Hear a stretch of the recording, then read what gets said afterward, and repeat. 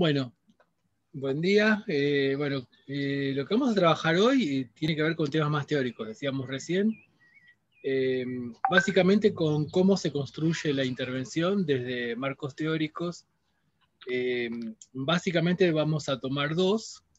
Uno es bien histórico, que se remonta a fines del siglo XIX, pero que está muy presente en la actualidad, incluso forma parte del segundo marco teórico que vamos a ver el, primero es el positivismo, pero no lo vamos a ver este, eh, desde el punto de vista filosófico solamente, sino desde el punto de vista de la aplicación, desde el punto de vista de las ideas y sobre todo cómo dialoga con el presente. La idea es esa, si no sería otro tipo de, encuentro.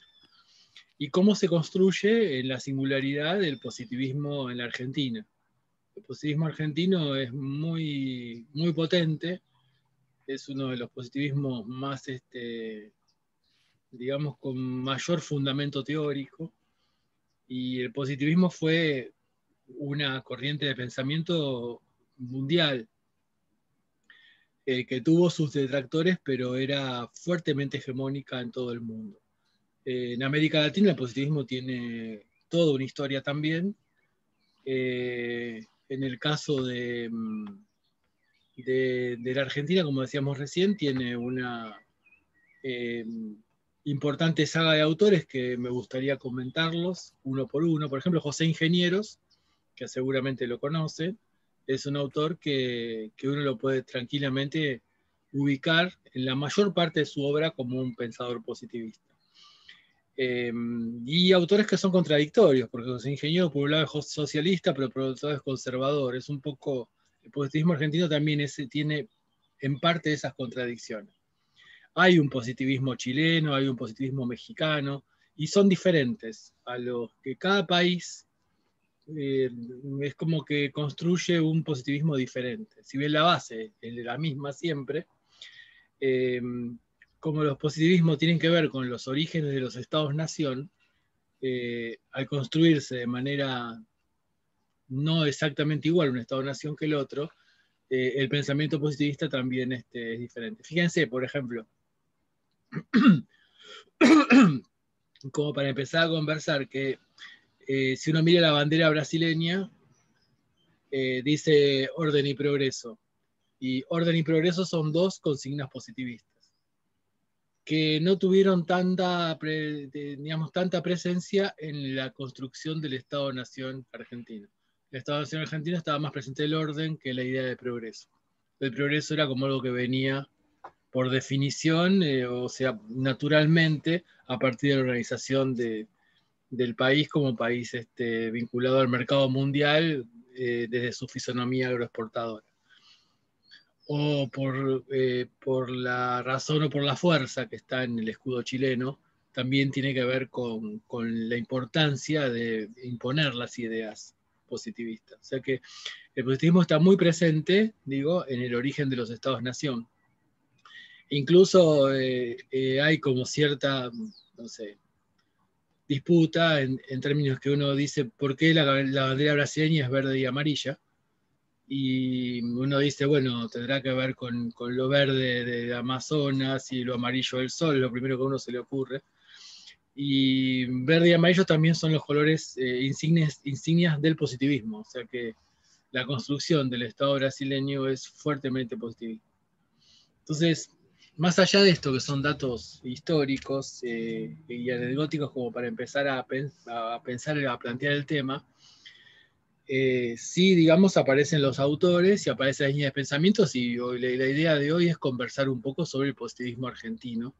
Y después de esto, vincularlo con otra corriente de pensamiento, que es el funcionalismo. Y el funcionalismo, si bien uno la podría poner en el pasado, es una corriente de pensamiento que está muy presente en el formato de las instituciones, por ejemplo, en la lógica de las intervenciones, no solamente dentro del campo del trabajo social, sino, eh, digamos, en la medicina, en, en un tipo de psicología. La psicología no psicoanalítica es fuertemente funcionalista la psiquiatría dinámica fuertemente eh, eh, eh, funcionalista. Incluso este, la definición de la OMS de salud es funcionalista. Eh, esa que nos enseñan en la escuela primaria y en la secundaria, que, creo que ya en la universidad no, no, tiene sentido ni valor. Esa salud como completo estado de bienestar físico, psíquico y social, y no la mera ausencia de enfermedad. En el campo de la salud mental, esa definición es de 1948. Es cuando el funcionalismo está empezando a tener mucha fuerza a nivel mundial como corriente de pensamiento, sobre todo dentro del mundo capitalista. El funcionalismo es una corriente de pensamiento eh, que se puede vincular con Talcott Parsons, que es un autor eh, estadounidense, pero que se forma en Europa.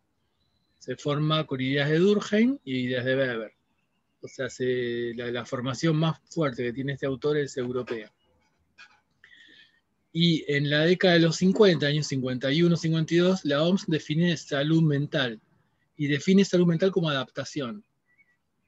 Entonces, eh, toda la idea de función-disfunción que, conversábamos recién con respecto al tema familia, por ejemplo, y toda la cuestión de eh, formas de intervención que eh, tengan como fin último o meta importante la adaptación, también dialogan intensamente con el funcionalismo. esa definición fue fuertemente criticada eh, sobre todo en nuestro país, sobre todo en la Argentina, se, prácticamente ni se conoce por eso, por, de, tanta crítica que recibió.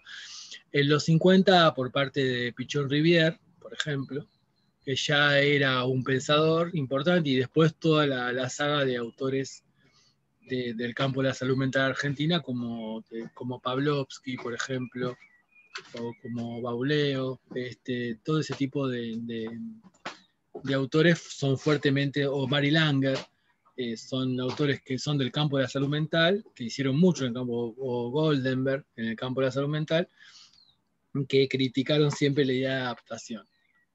Entonces, eh, de eso se trata un poco, trabajar un poco eh, como la idea de, adaptación desde el punto de vista del positivismo y desde el punto de vista del funcionalismo, como ejemplo, dialoga con las prácticas y cómo eh, aparece como un fantasma que está siempre presente, con el cual siempre estamos discutiendo. Y marca el formato de las instituciones. Incluso eh, cuando uno dice prevención primaria, eh, también está hablando en lenguaje funcionalista. Porque prevención primaria, prevención secundaria y prevención terciaria, que sería la nomenclatura que, se usa, digamos, en el modelo epidemiológico funcionalista que se llama de Level y Clark, eso es más para el campo de la salud pública, son tres órdenes o tres niveles de, de, pensar una enfermedad que tiene que ver, la prevención primaria sería, bueno, cómo prevenirla, cómo promocionar la, la no aparición de esa enfermedad, que sería la promoción de la salud. La prevención secundaria es el tratamiento y la prevención terciaria es la rehabilitación. Y esa idea de primaria, secundaria y terciaria tiene que ver con modelos que son ahistóricos y asociales y que tienen que ver justamente con eh, la búsqueda de buenas conductas epidemiológicas dentro de la población. Uno podría incluso, eh, un trabajo interesante sería ver el tratamiento de la pandemia y su relación con el funcionalismo. Podemos encontrar mucha relación con el funcionalismo, sobre todo en el discurso, en todo el mundo, incluso obviamente en el discurso de la Organización Mundial de la Salud. ¿Lo ven? No sé si vamos bien así, ¿les parece bien? Bueno, entonces me parece que este diálogo positivismo-funcionalismo nos marca dos formas de intervención, dos, llamémosle modelos de intervención, que van a tener una idea de sujeto de intervención y van a tener también una forma de hacer. Que va a tener que ver, esa forma de hacer va a tener que ver con una idea de construcción de esa llamada normalidad o ese llamado equilibrio, que va a ser muy criticado por autores como Foucault, como Deleuze, o previamente a Foucault y Deleuze también por la Escuela de Frankfurt, y en el caso de, la Argentina también va a haber autores como Korn, por ejemplo, que van a criticar el modelo positivista argentino. Eh, pero son marginales eh, en el caso de nuestro país.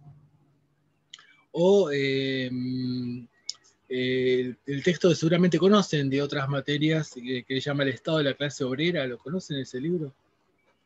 Es un libro de Violette Massé, que es un informe que un autor, que es un médico catalán que viene a Argentina, se radica durante a fin del siglo XIX.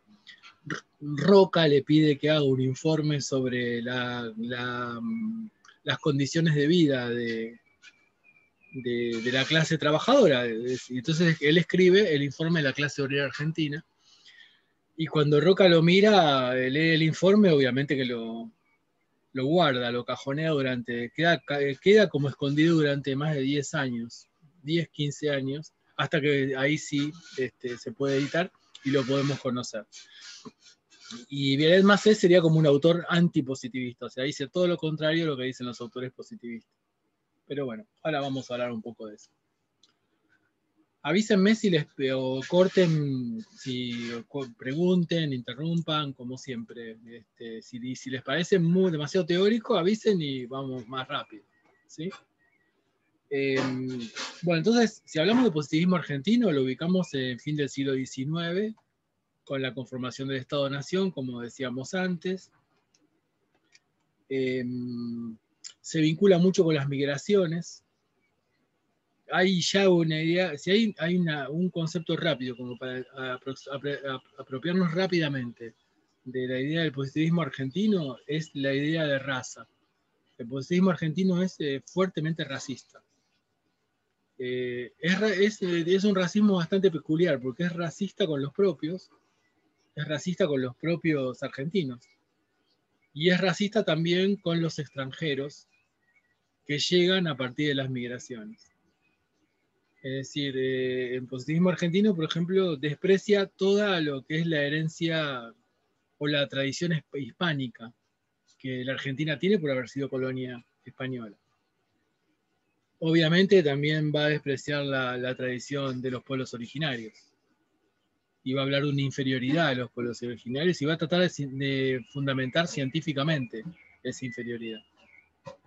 Pero también va a hablar, va a ser fuertemente racista con respecto a los inmigrantes europeos que llegan, eh, porque los inmigrantes europeos que trae la, que llegan por las políticas que genera ya la generación del 80 y antes de la generación del 80, em, los que llegan son eh, los pobres de Europa, son los, europeos meridionales son los europeos de, eh, perseguidos por el hambre, digamos, los italianos, los españoles, los que están también perseguidos por, razones religiosas o por, la miseria, como en el caso de gran parte de la comunidad judía que llega. Em, o sea, la Argentina se, puebla de, perseguidos, por llamarlo de alguna manera, de gente que se está yendo de países que están agobiados por las guerras, el hambre, las injusticias, las persecuciones políticas y religiosas. Y el proyecto de la generación del 80 era que vengan, lo dice eso, lo dice Alberdi, o sea, que es previo a la generación del 80, dice, Alberdi dice que eh, esperamos a las viriles razas anglosajonas, que no llegan. O sea, el sueño era una Argentina eh, digamos, poblada por, británicos, por decirlo de una manera rápida. Una cosa que no ocurrió. Si bien hubo mucha inmigración inglesa, esa inmigración tenía que ver con los intereses ingleses en, en la economía argentina. Sí hubo mucha migración de irlandeses, porque los irlandeses también estaban escapando del hambre. Eh, la hambruna en Irlanda es conocida a nivel mundial, es, es tema de estudio la cantidad de millones de personas que mueren de hambre en Irlanda en el siglo XIX es impresionante.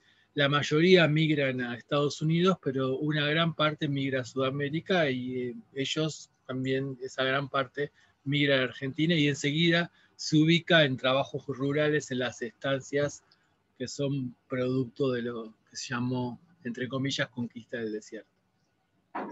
O sea que, rápidamente, lo digo rápidamente, el componente racista eh, es bastante interesante como para entender el pensamiento de la generación del 80. Y por otro lado, la conflictividad social. Es decir, hay una fuerte conflictividad social. Si uno mira el siglo XIX, eh, está presente, muy presente el anarquismo, el comunismo y el socialismo, yo diría en ese orden. El anarquismo es fuertemente combativo. El comunismo también. El socialismo es más componedor. De ahí que el socialismo forme parte de muchos gobiernos conservadores, y que haya calles en Buenos Aires con nombres de socialistas como Juan B. Justo, por ejemplo. Este, como Repeto, que no tiene, tiene calles en la boca. Pero bueno, Juan B. Justo sería como un ejemplo para todo el país. Juan B. Justo está en todas las calles de la mayoría de las ciudades de la Argentina. Y eh, Juan B. Justo siempre fue un legislador eh, socialista, digamos. Después de mm, Alfredo Palacios, que fue el primer diputado socialista de, la historia de América. Em, si vamos este, mm, a la conformación del positivismo argentino, eh, nos encontramos con un concepto que me parece interesante, que es el sociologismo biológico, es decir, plantear que las sociedades evolucionan igual que las especies, es decir, tomar las ideas de Darwin de evolución de las especies y aplicarlas a la evolución de las sociedades. No sé si soy claro en ese punto, pero es decir, las sociedades van cambiando entonces hay sociedades que van a evolucionar de una manera y sociedades que van a evolucionar de otra manera. Fíjense cómo esto aparece hoy en la crónica periodística, por ejemplo, cuando se habla de eh, un barrio u otro barrio, o cuando se habla del comportamiento de las personas. Incluso cómo eh, se mezclaría esto, se mezcla esto con el aspecto físico de las personas. Y cómo los procesos de estigmatización que tenemos en la actualidad, en el siglo XXI, más de 100 años después de lo que yo estoy relatando, nos, nos marca, digamos, un fuerte componente racial en el prejuicio. El color de piel, la vestimenta, el lenguaje, marcan ya un proceso de estigmatización del cual ya hemos hablado. ¿De dónde viene todo eso? Viene del positivismo dialoga con la intervención, yo diría que intensamente dialoga con la intervención porque marca las instituciones y marca las recorridas que esa persona va a hacer por la, por la institución. Entonces me parece interesante que podamos vincular pasado con presente. Por ahí es muy pesado, pero me parece interesante ver que esta idea de sociologismo biológico es una... es como forzar el concepto, pero se, se lo forzó por estos pensadores. Darwin escribió muy poco sobre la sociedad. Darwin le interesaba las especies, el texto de la evolución de las especies, que es lo que eh, crea la teoría de la evolución, que es la que hoy científicamente todos aceptamos como la más valedera, la más cierta, eh, en, el sentido de pensar lo que sería lo evolutivo, los cambios que fueron generando diferentes eh, transformaciones en diferentes especies, eh, se refiere siempre a la naturaleza. Escribió muy poco, vuelvo a decir, con respecto a la sociedad. Y incluso él escribe el libro La evolución de las especies, no sé si conocen la anécdota, pero lo escribe ya de grande, porque mm, pone en contradicción a todo el pensamiento religioso el, el, concepto de evolución de las especies. Y Darwin era una persona religiosa, y la que era mucho más religiosa era su, esposa, su compañera. Entonces, casualmente lo publica cuando muere su compañera. tarda mucho tiempo en aparecer el libro, este, tal vez por esa razón. Pero bueno, es un pequeño detalle. Y eh, un tema que tiene que ver con la cuestión social de principio del siglo XX y fin del siglo XIX, que es la que se vincula con lo urbano, eh, y que es muy, muy del positivismo, es el nacimiento de la criminología. Ustedes ya lo conocen eso. O sea, lo tiene, eso es, este, uno dice, bueno, ¿de dónde vienen las ideas del hombroso? Las ideas del hombroso son ideas de, que vienen del positivismo. ¿Quién aplica las ideas del hombroso y garófalo en la Argentina? Eh, José Ingenieros.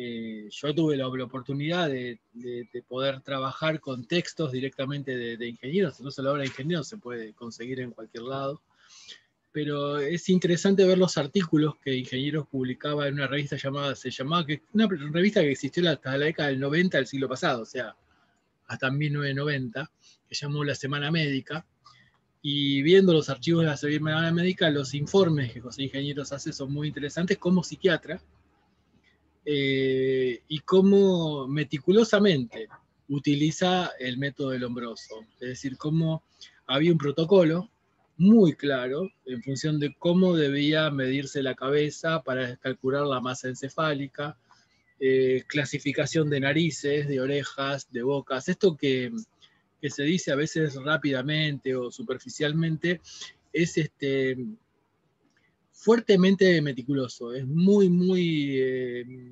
detallado, al punto que los, los informes forenses eh, que inicia ingenieros y que siguen los psiquiatras forenses de de los principios del, siglo, del siglo XX son de 30, 40, 50 páginas, detallando cada una de estas, de estas cuestiones para llegar a la conclusión si la persona tenía potencial delictivo o no tenía potencial delictivo.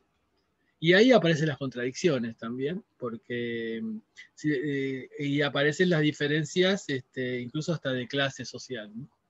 en, términos de cómo se vinculaba clase social con el aspecto, en el sentido de que eh, la sociedad argentina, al ser heredera de la sociedad española, es una sociedad fuertemente estamental, y la sociedad fuertemente estamental es una sociedad fuertemente racista, en el sentido de cómo ordena lo superior y lo inferior según, según, la, según lo racial.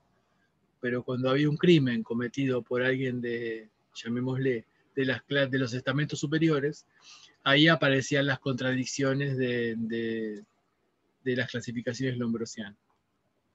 Entonces, em, pero fíjense cómo en la crónica periodista, periodística y en el lenguaje cotidiano y las explicaciones actuales está muy presente eso todavía, el aspecto de, que la persona tiene, como dije recién, y su vinculación con el, delito. Por otro lado, este, también el origen de, lo que hoy llamamos niñez, que se llama minoridad en ese momento, también se vincula con el positivismo. Es decir, cuando uno habla del patriarcado, eh, no, sería de mm, la función del juez eh, desde el punto de vista, mm, no me sale la palabra. ¿El tutelaje? ¿Cómo? el tutelaje del tutelaje y, digamos, la, hegemonía que el juez, todo el manejo de la patria potestad, el manejo de, una justicia fuertemente patriarcal, eh, bueno, se origina también en el positivismo, en el sentido de una superioridad también de la figura del hombre con respecto a la figura de la mujer. También eh, el racismo eh, dialoga con, con, ese tipo de cuestiones. Em, eso está escrito, o sea, no, no, son suposiciones, está dicho por estos autores que ahora los vamos a, mencionar. Pero más allá de eso, yo diría, tenemos el origen de la criminología, tal como la conocemos hoy. O sea, si quieren como ejercicio ver algún programa de crímenes de, los que, tipo, qué sé yo, este, los que aparecen en C5N o en Canal 13 o en TN, y van a ver cómo está muy presente la idea lombrosiana. Y también el origen de lo que se llama minoridad, que hoy llamamos niñez, a partir de 1994 con la aprobación de la Convención de los Derechos del Niño. Y también la higiene médica se vincula con ese, con ese eh, concepto o con esa idea de positivismo. Si vamos autor por autor, que que uno estaría bueno hacer un pequeño repaso de los autores. Eh, recién hablábamos de José Ingenieros. Eh, José Ingenieros, este, bueno, es un autor muy prolífico, escribe una enorme cantidad de libros. Yo creo que son 12 los libros de ingenieros, que son, que son como libros. Tiene un libro que se llama Sociología, por ejemplo, y el primer párrafo dice, la sociología es una ciencia natural o sea que ahí está la, idea de sociologismo biológico, por ejemplo. Y eh, José Ingenieros, como dijimos recién, es el padre de la criminología. es el que trae las ideas de Lombroso. Incluso discute con Lombroso, tiene una relación con Lombroso. El ingeniero era un personaje eh, reconocido mundialmente. Era una especie de, estrella de rock, digamos, donde iba, eh, generaba eh, movimiento y donde tenía país que llegaba, país que lo obligaban a dar conferencias. y todo esto era lo moderno, lo, lo, más avanzado en función de cómo entender la criminalidad a partir de los rasgos físicos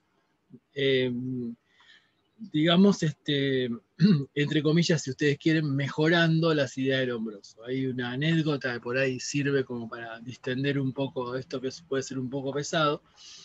Eh, José Ingenieros viaja, tiene que viajar a Estados Unidos a dar una, a Nueva York a dar una conferencia. En esa época, obviamente, se viajaba en barco. El barco hace una escala en La Habana, en Cuba, y mm, bueno, cuando Ingenieros baja del barco, el barco se queda un día en La Habana, es como rodeado por un grupo de científicos cubanos que lo, lo empiezan a vitorear y a saludar y de hecho lo secuestran y se lo llevan al anfiteatro de la Facultad de Medicina para que dé una conferencia, que no estaba pactada. Sea, ese es el, impacto que tenían estos autores a nivel mundial en el sentido que estaban dando una respuesta de cómo resolver la problemática de la criminalidad. O sea, fíjense la creencia que había en esto que estamos conversando vinculado con el positivismo.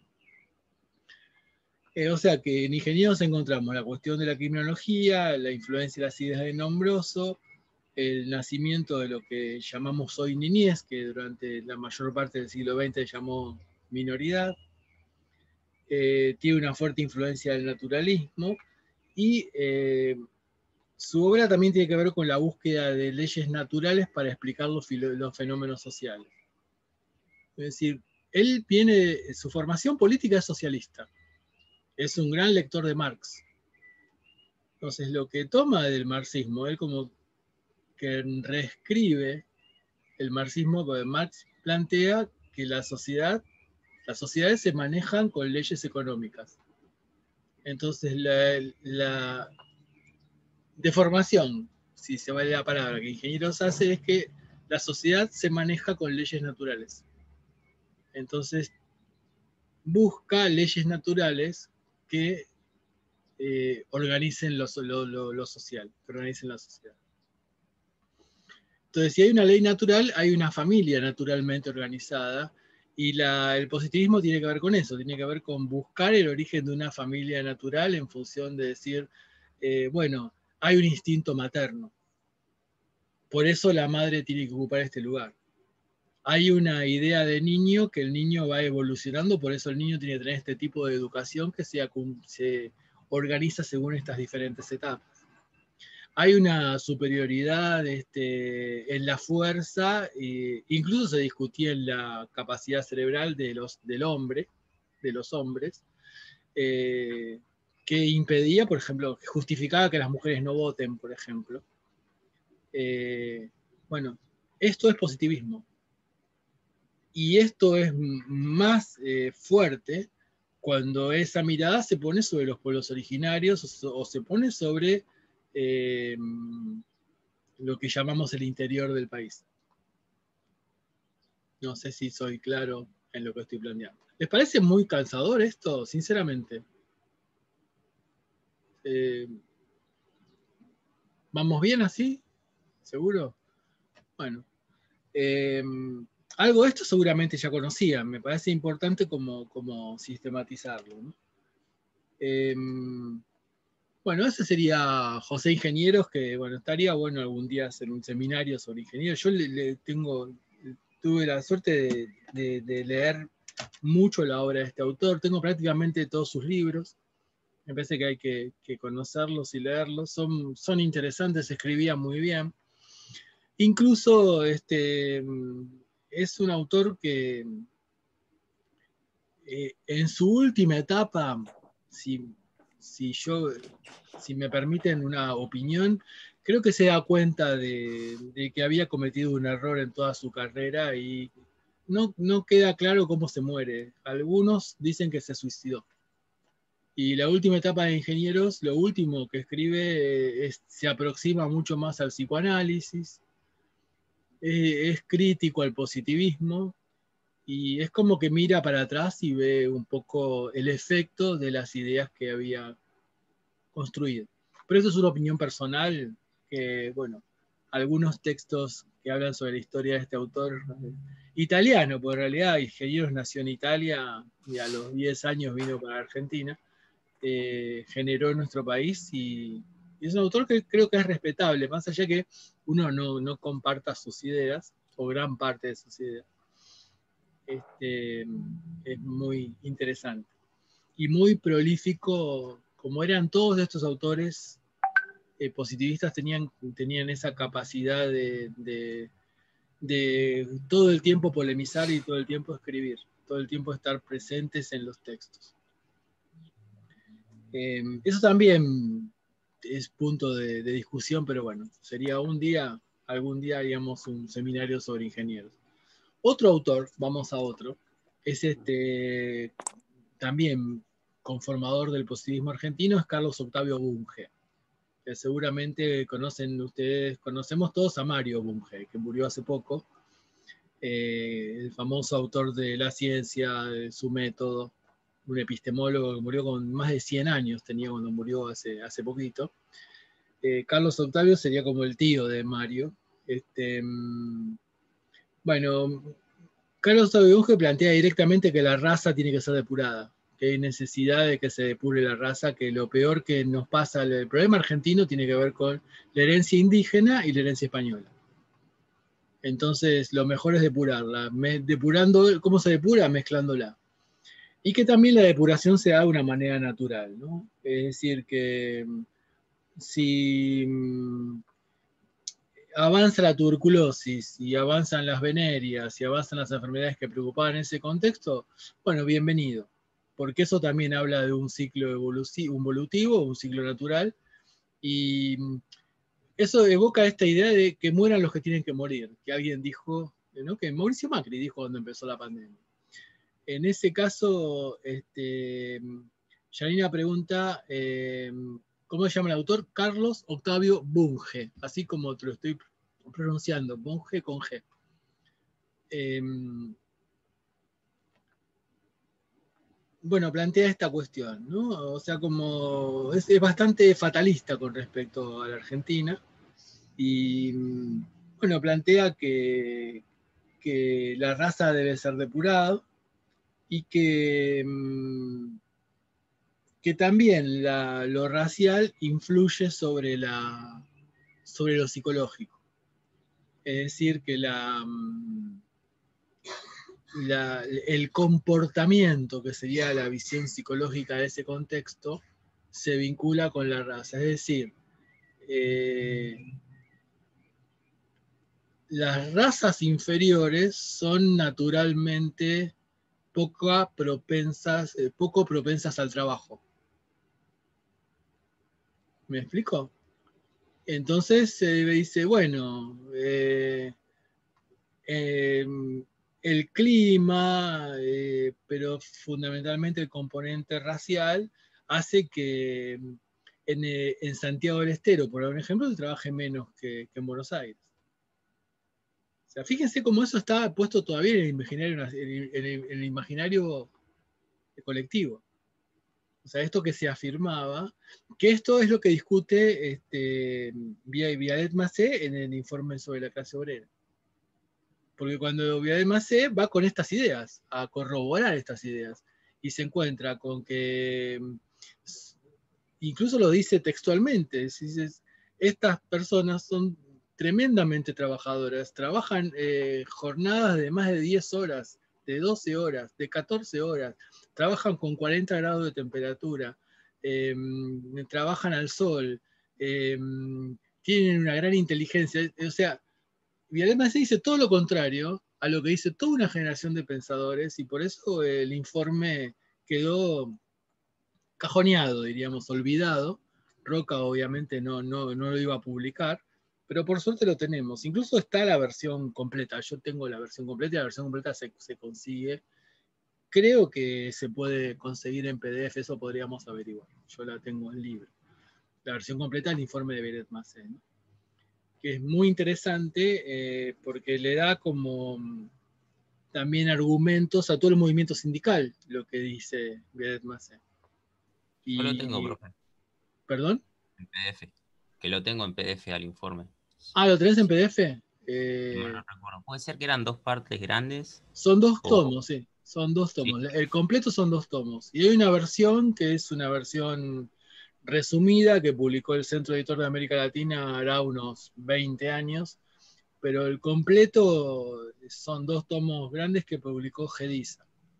Eh, yo creo que vale la pena mirarlo, por lo menos ojearlo y, encontrarnos, bueno, que había un pensamiento disidente bastante fuerte en ese sentido que, no quedó en la nada, digamos, no quedó perdido, no quedó en el archivo, no quedó en, la cuestión del historiador, porque en ese contexto, ya que, nombraste el libro, eh, empieza a haber un pensamiento disidente con respecto a la, generación del 80 y con respecto al positivismo que eh, Violet Macé tiene la gran ventaja. Violet Macé es un personaje impresionante, entre paréntesis. Eh, tiene la gran ventaja de hablar del presente, pero también los que van a criticar el pensamiento positivista lo van a hacer desde la historia. Y ahí aparece el revisionismo histórico. Ahí aparece Adolfo Saldías, que también es un autor de esa época que va a corroborar, digamos, todo esto y se encuentra, cuando ve los archivos, se encuentra con que es todo diferente desde el punto de vista histórico, de cómo se está enseñando la historia. Pero, no sé, si quieren, les podemos compartir, podemos hacer este, si les interesa, hay un documental muy, muy interesante que es La vida de. Abel Macé era médico, viene a Argentina, eh, y dice, pero bueno, yo para, si me voy a radicar en Argentina, voy a trabajar en Argentina, tengo que conocer las leyes argentinas y estudia Derecho y se recibe de abogado. Pero después se va, se radica en Córdoba, en una localidad que hoy, hoy se llama Bedet Macé, y se interesa por todo el tema del riego, que era uno de los problemas que tenían en ese lugar, y arma un sistema de diques, un sistema de construcción de diques. O sea, es un, un personaje de los olvidados, digamos, que vale la pena conocerlo. Si quieren, podemos, Adriana, si querés, podemos hacer eso, podemos, ¿no te parece? Ya que apareció Belet Macé, que se lo conozca en, todo su, no solamente en el libro El Estado de la clase obrera. En sociología lo vimos a Dialet Macé y creo que en ese informe mostraban también que lo habían metido preso porque decían como que las estructuras del dique que había armado no eran sólidas, como que lo estaban incriminando, me parece. Y el eh, informe nos hicieron leer el resumen, y el resumen está bueno también porque lo, que se criticaba también para justificar que eran vagos era como que tenían propensión al alcohol y qué sé yo, como cuestiones así. Y en el informe eh, él dice como, bueno, ¿cómo no van a salir a tomar luego si están trabajando mil horas? Están como re súper explotados, Sí, sí, pero fíjate que esa propensión al alcohol va a ser explicada desde el punto de vista biológico, es decir, de vuelta al racismo. Eso Vialet Maceno no, no llegó a conocerlo, pero cuando Eduardo Menéndez estudia proceso de alcoholización en la década de los 70, o sea, 50 años después, o 60 años después que Vialet Macé, lo que, lo que visibiliza es que una persona que está trabajando 14 horas con 40 grados de temperatura necesita reponer hidratos de carbono y el alcohol repone hidratos de carbono de una manera mucho más barata que la comida, porque era más barato el alcohol que la comida en esos parajes donde se explotaba a la población. Pero sí fue olvidado, perseguido, ninguneado de la academia. Recién ahora se lee Viadet Macé en la, en la Universidad Argentina era como muy exótico este, esa lectura, era como para seminarios paralelos, digamos, o para cátedras paralelas que tenían muy pocos estudiantes. A me parece interesante que lo hayas visto en sociología, eso, y que, o eh, creo que a nivel de todo lo que está pasando en nuestro país, en, a nivel académico, hay como una revalorización de todos estos autores. Me parece interesante que podamos leer a todos. Que podamos leer a Violet Macei, podamos leer a ingenieros y podemos y, y que lleguemos a una conclusión. Pero sí, es un autor que va a ser perseguido, tuvo un montón de juicios, este, este sistema de diques no lo, no lo termina de hacer por una serie de problemas que le van haciendo, porque eran más baratos que los que habían contratado. Bueno, vean el documental si quieren y van a encontrarse con la historia. Pero estamos hablando, ahora hablamos de los positivistas, ¿no? Estamos, hablamos de ingenieros, hablamos de Bunge, y hay otro interesante que es Agustín Álvarez, que, eh, que plantea mm, que, que el, el, el racismo lo que genera es el fanatismo. El problema de Argentina es el fanatismo. Somos muy fanáticos. Fíjense cómo eso está presente eh, hoy, digamos. En la crónica periodística del día de hoy lo podemos encontrar.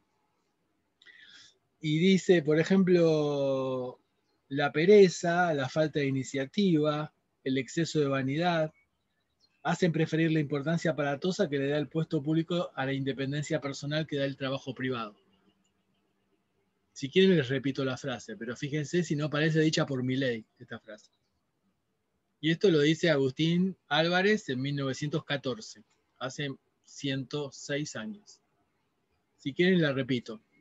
La pereza, la falta de iniciativa y el exceso de vanidad hacen preferir la importancia aparatosa que da el puesto público a la independencia personal que da el trabajo privado. Fíjense qué exaltación del liberalismo, incluso de la meritocracia, si ustedes quieren.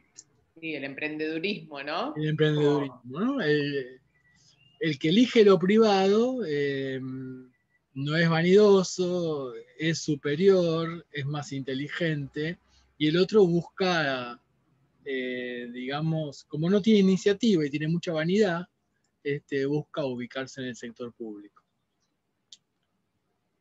Eh, bueno, eh, eh, está muy influenciado por Herbert Spencer, que es otro autor que, bueno, no, yo no quiero cansar con autores, pero Spencer es un autor que mezcla sociologismo biológico con liberalismo económico. Es el autor que más influye en la creación del pensamiento del liberalismo económico argentino. O sea, mucho más que Adam Smith. Ojalá hubiese sido Adam Smith el que haya influido sobre el liberalismo argentino, porque es el liberalismo de Melconian, es muy spenceriano. Pero bueno, eh, sigamos pensando en autores.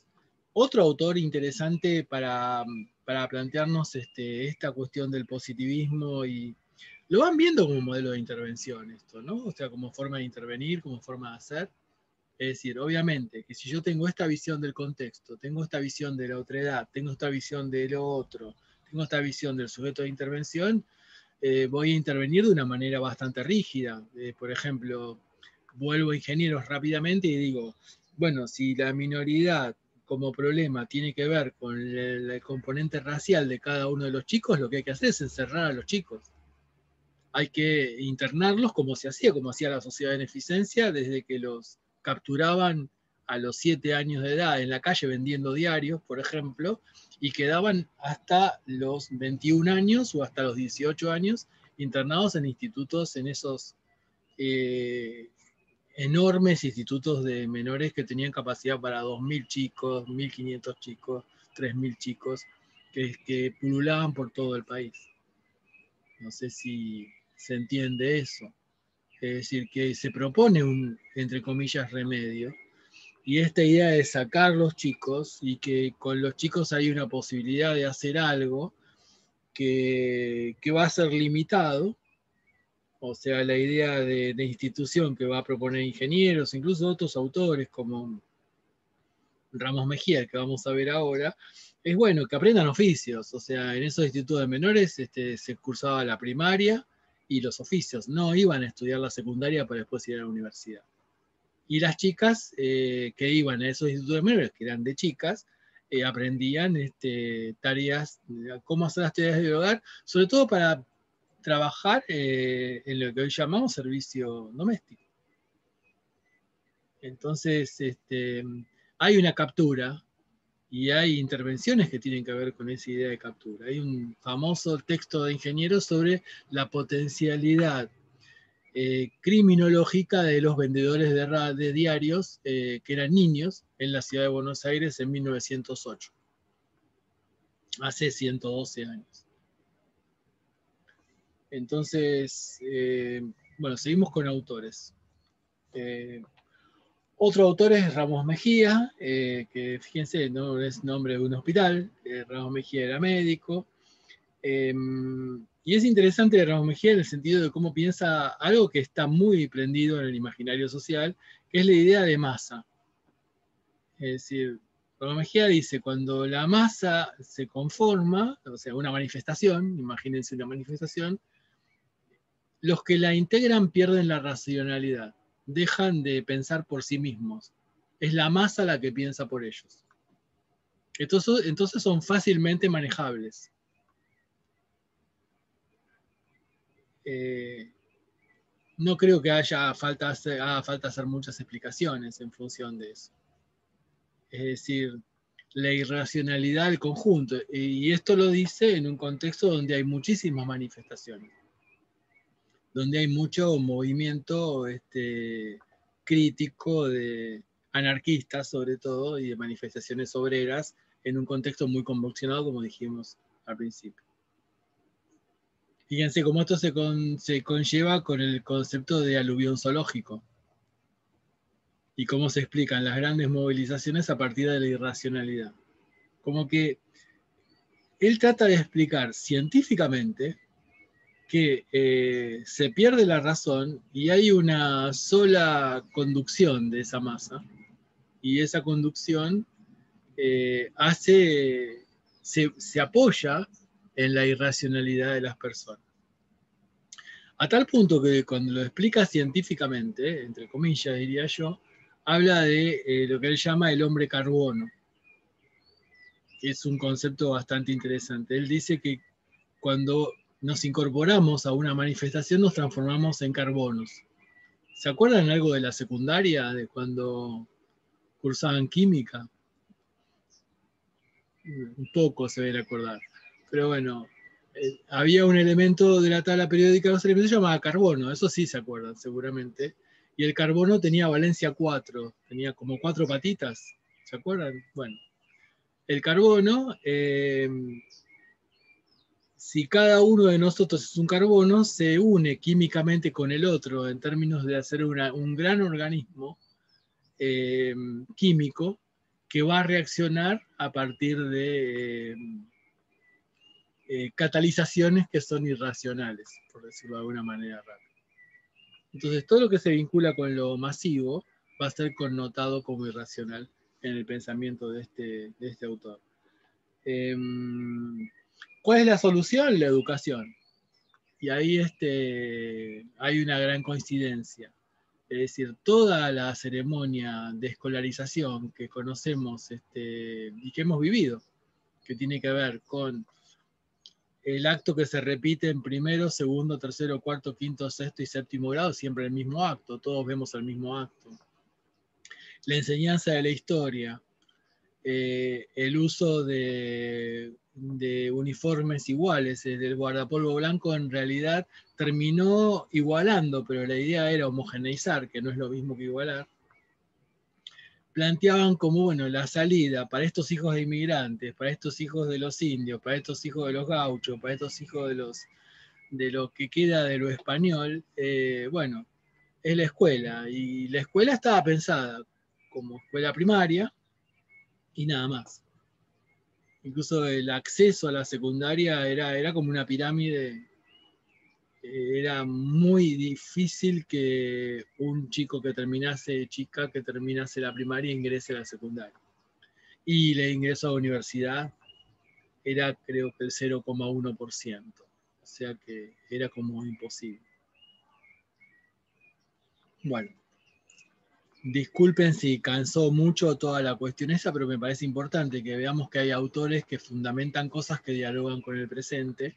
Entonces podemos pensar en la idea de un modelo que podemos llamar de intervención eh, positivista, que tiene, como decíamos antes, una noción de sujeto, que es un sujeto moralmente débil. ¿Por qué es moralmente débil? Como decía Daniela recién, es moralmente débil porque se alcoholiza, porque mm, ante su propia incapacidad se introduce una masa y deja que, digamos, que quien conduce esa masa piense por él. Em, es responsable de, lo que le está pasando. No hay una responsabilidad de la sociedad, sino una responsabilidad de la persona. Entonces, si ese es, el sujeto de intervención del modelo positivista, ¿desde dónde lo fundamento esto? Desde todo lo que estuvimos conversando de hace una hora. ¿Y qué idea de intervención tengo? Y básicamente voy a tener como idea de intervención la vigilancia, el registro y la inspección, es decir, un fuerte control sobre, sobre esas personas. Y la imposición de modelos de, de familia, por ejemplo, retomando algo de lo que trabajaron la semana pasada. Es decir, la idea es que la escuela, desde los niños, transmita educación a los padres. Entonces, en la escuela no solamente se enseña historia y geografía, sino que también se enseña moral y buenas costumbres. Con la idea de aleccionar a los chicos y con la idea de que ese aleccionamiento se transmita de alguna manera en la casa a nivel de los padres. Entonces, fíjense hasta dónde eso no está presente hoy. Insisto, cómo todo esto sigue estando presente en los imaginarios sociales y cómo discute con la, con la intervención. Y cómo discute con la idea de lo normal y lo anormal. Es decir, que una de las cuestiones de la intervención, que todavía no es de trabajo social, porque trabajo social no existe en esta época, en la Argentina aparece en la década del 30, en esta época es, la intervención es fundamentalmente médica, eh, es encontrar la, anormalidad, encontrar la disfuncionalidad. Por eso aparecen los médicos que hacen eh, visitas domiciliarias, que son visitas higiénicas en el sentido de, del higienismo, y que van a buscar que la casa esté ordenada, van a buscar que los padres estén trabajando, que el padre esté trabajando, y eso está, bueno, está escrito, está escrito en una enorme cantidad de autores que, en algunos están en la bibliografía.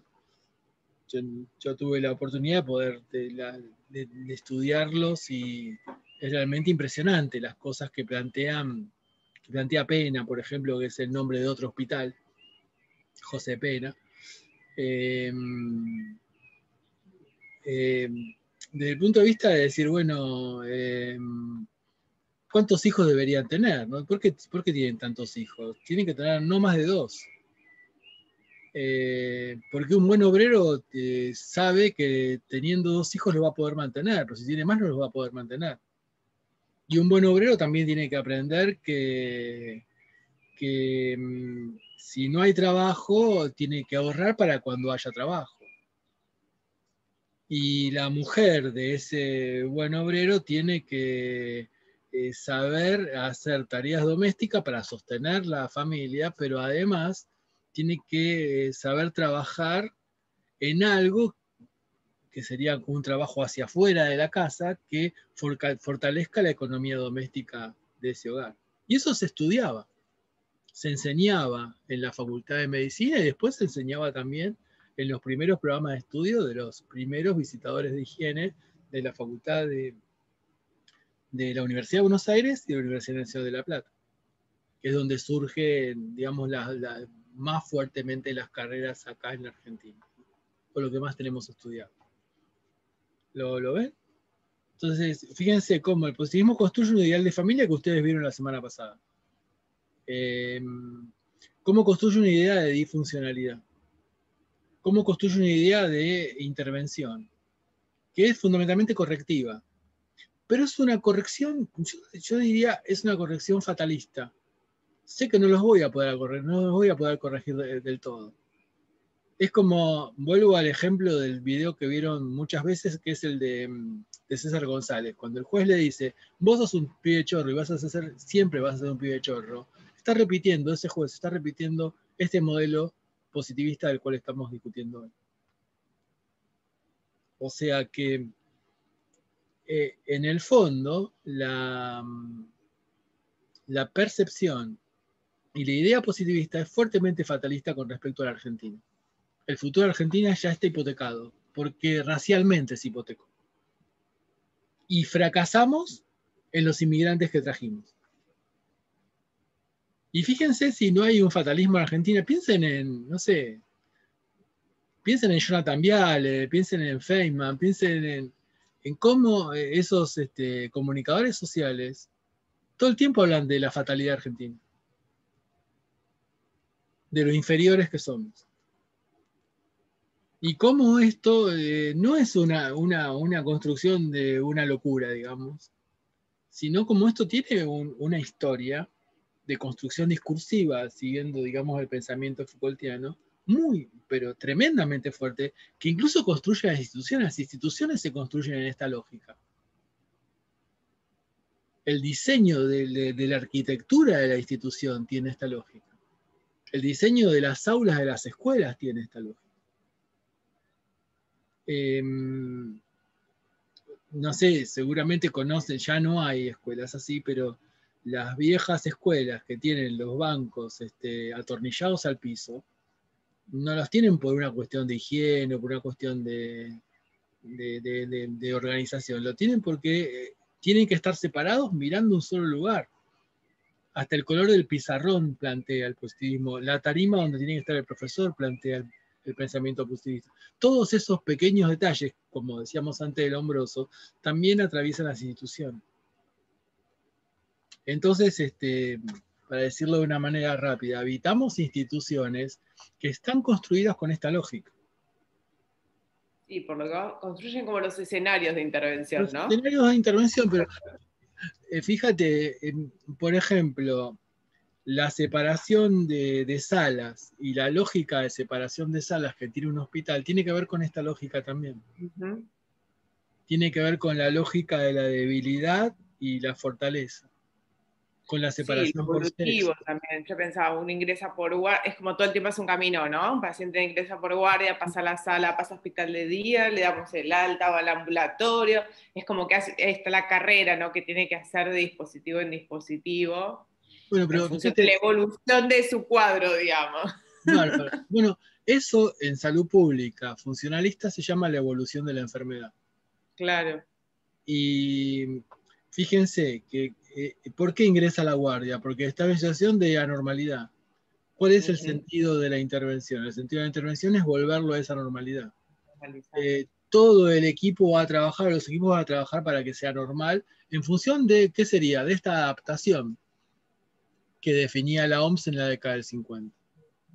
Eh, esa búsqueda de lo normal, eh, en términos de quién define qué es lo normal, que hoy está muy puesta, por suerte está muy puesta en cuestión, eh, bueno, es fundacional de nuestras instituciones y también a nivel mundial. Yo les dije, empezamos por ahí, el positivismo era una corriente de pensamiento hegemónica a nivel mundial, no solamente en nuestro país. Sí, como dije al principio, hay diferencias de país en país. Insisto, si hay una característica que tiene el positivismo argentino es su componente racista, lo racial. Y también lo, hegemónico, lo vinculado con un, con, una, con un sector social, con una clase social, eh, que es la que se cree dueña del país que se sigue creciendo, creyendo dueña del país, ¿no? que es la oligarquía terrateniente. O sea, trabajan en función de la oligarquía terrateniente. Si bien no son eh, de la oligarquía terrateniente, salvo Bunge, de todos los que nombré, los demás no, los demás son ya de una burguesía que empieza a crecer, que tiene que ver con inmigrantes que, que les va bien, como eh, le fue bien al padre de José Ingenieros. Eh, o de familias importantes, Bunge y también el caso de Ramos Mejía. Cuando dice su apellido, tiene que ver con la creación del Partido de la Matanza, digamos. Que no se llama Ramos Mejía por una historia que tiene que ver con una matanza de españoles que hubo eh, en el siglo XVIII. Pero bueno, esa es otra historia. ¿Estamos hasta acá?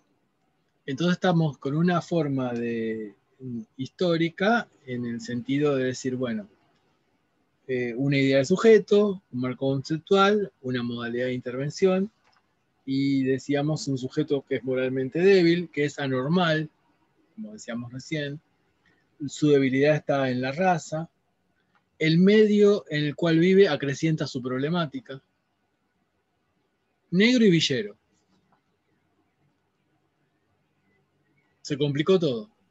Yo pensaba también cómo esto se sigue reproduciendo con otros términos, ¿no? Primer mundo, tercer mundo, países desarrollados, países no en desarrollo, ¿no? Cómo políticamente se va poniendo, como utilizando como otros modos de nominar esta situación, pero que lo que todo el tiempo habla es de una superioridad de unos por sobre otros y de que lo mal que nos va es porque somos como somos y porque somos inferiores a esta Europa que sigue, se sigue mirando este primer mundo que sigue estando ahí como ideal alcanzar. Bueno, eso, eso que. tal cual. Bueno, eso, eso que plantea Adriana tiene que ver ya con la, segunda parte. De, o sea, lo que plantea Adriana es justo para hacer el puente para ir a la segunda parte de la. Porque esto eh, se, hace, se hace de esta manera con un positivismo que es funcionalista. Es decir, ya el lenguaje que está usando Adriana es un lenguaje no del pasado, es decir, que toma elementos del pasado, pero que se modernizó. Subdesarrollado desarrollado no, no, existía en esas palabras en el modelo, eh, en el concepto, de, en el positivismo. Eh, la idea de superior-inferior que plantea Adriana está mucho más vinculada con, la, con lo que sería el estructural funcionalismo de Talcott Parsons. Entonces, si Parsons era un gran estudioso de todo lo que es el modelo médico y ese es su contacto con la biología, su contacto con lo que sería la base del modelo positivista. Em, y también yo agregaría en los dos elementos la cuestión de la, la, la raza vinculada con el contexto, cómo el contexto potencia la debilidad como el medio de potencia la debilidad. Eso es un tema todo, eh, es un tema interesante para pensarlo desde lo, epistemológico también, ¿no? Es decir, la pobreza genera delincuencia. Entonces, esta, si yo afirmo esto, estoy haciendo una afirmación este, fuerte. Pero la puedo hacer para decirlo rápidamente, tanto desde la derecha como de la izquierda, por decirlo de alguna manera. Y en realidad eh, no, sería la pobreza la que genera delincuencia, sino que la distribución de la riqueza es la que genera delincuencia, que sería otra cuestión. Pero mm, eso, hay un libro de Hugo Míguez que se llama Los pibes chorros, que plantea estas contradicciones este, en el capítulo 1 y en el capítulo 2, y en la introducción, que, que habla un poco de los problemas del método en ciencias sociales y cómo a veces entramos en contradicción. Es decir, creo que eso ya lo dijimos, pero lo digo en este contexto, eh, cuando hablamos de factores del medio, hablamos de una multiplicidad de factores, sino de, no de relaciones unicausales. Este, villa no es sinónimo de, delincuencia, aunque sí eso esté impregnado o fuertemente inscrito en el imaginario, el imaginario social. Bueno, no sé si tiene alguna pregunta para hacer. Eh, algo que, quieran decir. Eh, ¿Les parece muy aburrido esto? Sincero, ya estamos, nos quedan tres semanas, o sea, ya estamos en confianza, puedo decir. Esto es un plomo. Este, nadie se va a ofender son temas un poco teóricos para, teóricos para un sábado a la mañana, pero me parece importante revisarlos. Fíjate cómo llegamos a Violet Macé, por ejemplo. Está bueno, yo justo estoy preparando control social, entonces lo asocio mucho a todo lo que tiene que ver con la criminología, o sea, el delincuente, cómo va cambiando la visión. Bien. Pero está todo más o menos. Claro, todo, fíjate que como si vos estudias eh, control social o sistema de disciplinamiento en la Argentina, eh, es inevitable ir al positivismo. Es inevitable ir a José Ingenieros, a Alombroso y a Garófalo, y a estos autores que están como olvidados, pero sus libros están. Incluso están, están, en, las, están en las bibliotecas, o sea, en las bibliotecas más oficiales, digamos. Este, y vale la pena eh, revisarlos porque ahí uno encuentra la singularidad de la construcción del control social en Argentina. Y también, como nada es perfecto, porque fíjense esto, ¿no? Fíjate esto, que se construye una especie de ingeniería del control social, se construye una ingeniería del disciplinamiento, se construye un marco explicatorio que es fenomenal, porque es, es el que cree el 90% de la academia y el 90% de la población termina asumiéndolo como propio, incluso siendo víctima de eso. Pero esta homogeneización que propone la educación de, de Agustín Álvarez, Ramos Mejía, que ya venía con las ideas de Sarmiento, produce efectos que no estaban pensados, efectos colaterales. O sea, la gente empieza a leer y empieza a leerlo, empieza a leer otras cosas. Y empieza a hacer crítica en función de lo que va pasando en la sociedad. Y, empiezan a aparecer escritores como Roberto Art. Y empiezan a aparecer escritores como los hermanos Tuñón, que eran del Partido Comunista. Y empiezan a facilitarse la escritura de, de proclamas, panfletos y llamados a la rebelión. o sea que la generación del 80 y el positivismo también construye su propio final. Eso es lo que me parece interesante, ¿no? O sea, no logran eh, totalmente ese disciplinamiento, porque hay algo que, uno puede tomar del pensamiento de Foucault, que es una, que para mí es como clave, que sería como para mí uno de los elementos más importantes del pensamiento de Foucault, que es un concepto que es muy sencillo. Foucault dice, donde hay poder, siempre hay resistencia. Entonces, acá tenés un tremendo poder, pero también ese tremendo poder construye una tremenda resistencia, que se va a ver más adelante, va a ir creciendo lentamente, a partir de la literatura, a partir de mm, la otra forma de narrativa, a partir de creación de un teatro distinto, que va a ser más costumbrista, pero que también va a criticar estas cosas. El teatro de Armando Disépolo, por ejemplo, el teatro de Bacareza, son todo, todo lo que es la, la, narrativa argentina del siglo XX, es muy interesante porque es fuertemente social, pero para nada positivista. Ahora, ¿dónde aprendieron a leer y escribir esos, esos, esos autores? En la escuela de Sarmiento, en la escuela de Ramos Mejía, en la escuela que teóricamente los disciplinaba. O sea que en esa, en esa capilaridad donde se produce esa tensión, poder, resistencia, es donde mm, yo me imagino, imagínatelo, imaginémoslo, qué sé yo, imaginemos a, qué sé yo, a Armando dice por lo chiquito en el colegio, aprendiendo a leer y escribir, pero también pensando eh, que vive en un conventillo y no estando de acuerdo con cómo vive y, sufriendo esa forma de vivir y viendo las desigualdades. Bueno, va a llegar un momento que va a escribir sobre eso. Y su hermano, Enrique Santos dice, pues lo va a hacer en tango todo.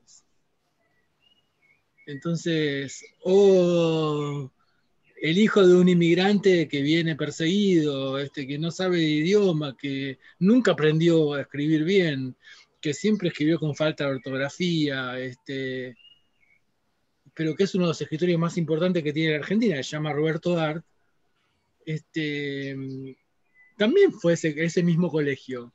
uno se lo puede imaginar como compañero de banco. Y, también escribió sobre, sobre mm, los efectos de la desigualdad. Y, y, bueno, y Art escribió Los Siete Locos y armó una revolución anarquista en un libro fabuloso como Los Siete Locos, por ejemplo, o El Juguete Rabioso. Entonces, también hay una, esa cuestión que no es solo teórica, donde hay poder y resistencia, se ve, bueno, uno lo estudia acá, pero está en todos lados, lo puede encontrar en todos lados. Acá la ventaja de estudiarlo acá, uno tiene como más data o más información con respecto a eso. O sea que los sistemas de disciplinamiento nunca terminan de ser, nunca son perfectos.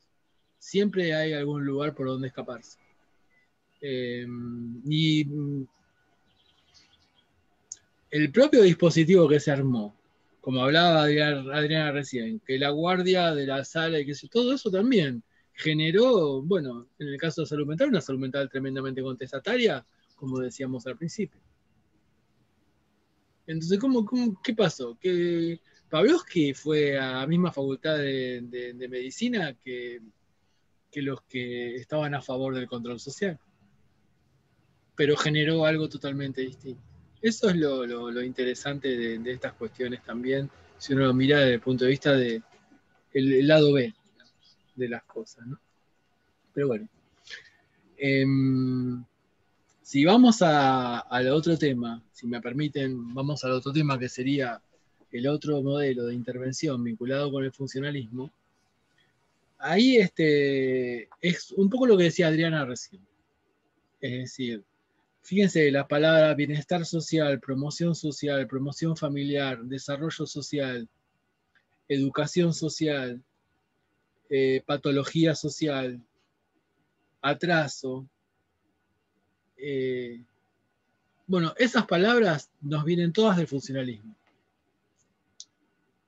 Desarrollo, subdesarrollo. Sería como los grandes títulos.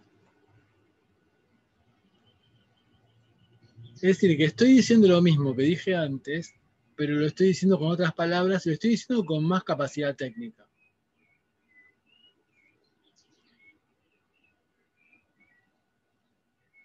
Entonces, este, ahí uno encuentra la idea de, educación, por ejemplo, vinculada con la intervención, la idea de patología social, la idea de antisocial, ya más vinculada con una idea de sistema.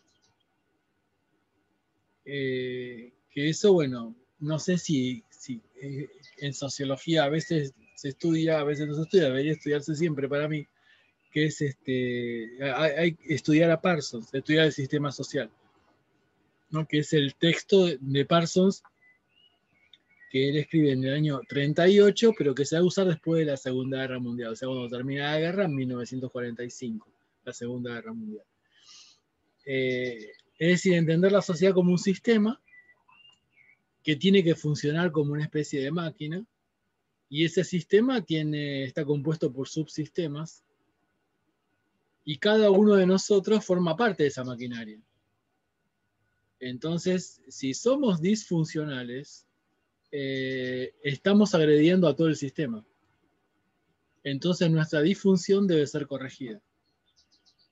Si no alcanza eh, esa corrección en función de em, lo que sería corregirlo mientras está en la sociedad, lo tengo que sacar de la sociedad y lo tengo que internar para ver si lo puedo corregir.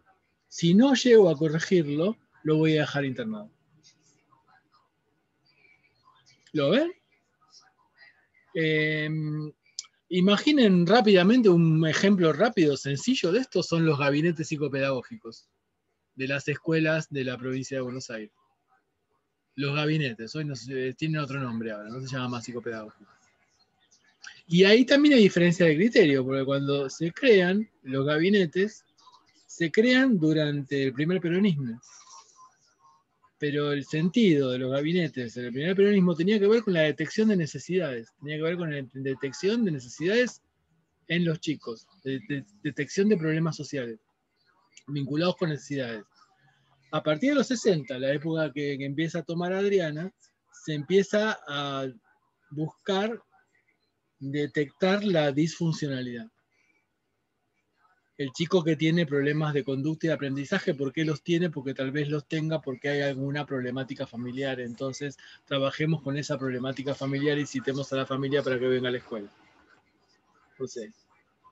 generalmente los trabajadores sociales suele ser nuestro primer trabajo, por lo menos eh, en, ese, en ese espacio. En mi caso fue así. O sea, mi primer trabajo ya con, el título. Primer trabajo, trabajo rentado. Este, y uno, bueno, entiende esa lógica. Entonces, digo, ¿por qué toda esa maquinaria? Mm, hay una razón y esa razón se vincula con un marco conceptual, se vincula con una idea de sujeto y va a mostrar o va a demarcar una forma de, de hacer, una forma de intervenir. Entonces esta idea parsoniana de sistema social como una pirámide, desde los estratos superiores se, dictan las normas, eh, porque los estratos superiores son los que están mejor formados, según siguiendo este pensamiento, y tienen más capacidad. Eh, y ese sistema está compuesto por subsistemas que interactúan entre sí, creo que es bastante sencillo. Luhmann toma algo de eso también. Luhmann sería como un continuador de todo esto.